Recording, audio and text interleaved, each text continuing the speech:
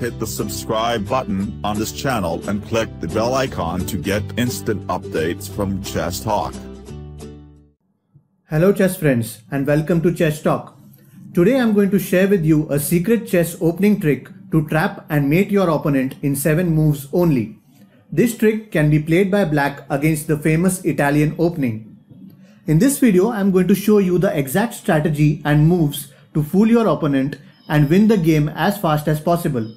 I'm also going to show you the solution to the puzzle I had asked in my previous video along with your comments and correct answers. Plus, there is another interesting puzzle for you all. Let's see if you can solve that. So stay tuned till the end and while watching this video, if you have any questions, feel free to post them in the comment section below. I'll be happy to answer and help you out. I am Jitendra Advani. You're watching Chess Talk. Let's get started. The trick I'm going to show you now is popularly called the Blackburne Shilling Gambit. This is the Italian game, so we start with the king's pawn opening. White plays pawn e4, then black plays pawn e5, then knight f3, knight c6, and bishop c4. This is the initial setup of the Italian game.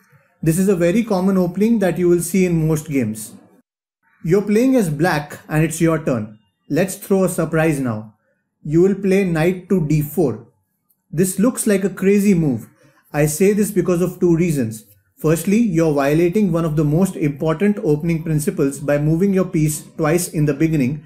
And secondly, you have left your e5 pawn unprotected. I'm sure white will be licking his lips after seeing this blunder made by you. If your opponent has not seen this trap before and he tries to be greedy, he will take no time and capture your pawn with his knight. Great, that's just what you wanted. Your opponent just got trapped. Now it's time to unleash your next surprise. You bring out your queen to g5, double attacking this knight and the pawn on g2. This seems like another blunder because white can easily save his knight by capturing the f7 pawn to double attack the queen and rook. If he plays this move, then he is gone. You will now capture the pawn and play queen to g2. White now has only one good move here. He has to prevent his rook from being captured by playing it to f1. Now it's time to finish off things. Black plays queen e4 check. The king can't move and if he blocks with his queen then it will be captured by your knight. So the only move left for white is to block with his bishop. And now comes the killer move. Can you spot it? Yes. Black plays knight to f3 and says thank you very much because that's a beautiful checkmate. Amazing, isn't it? Now let me just go back and show you another common variation that you might see. Let's say in this position white instead of saving his rook captures your rook with his knight. Then from here you can take the rook with your queen and give check. The king can't move so the only move white can play is to block with his bishop. Now your queen captures the pawn on e4 and gives check. White cannot block with his queen because of your knight so again he will have to block with his bishop. Now knight f3 won't be checkmate because he can move his king. So instead you bring out your bishop to c5 now no matter what move white plays, you can easily checkmate in the next three moves. Say for example white plays pawn to d3, then you will play knight f3 check. White has only one move that is king f1. Now you will play the killer move queen h4. I call this killer because you're threatening mate in two ways. Firstly, queen to f2 is checkmate and secondly queen to h3 is also checkmate.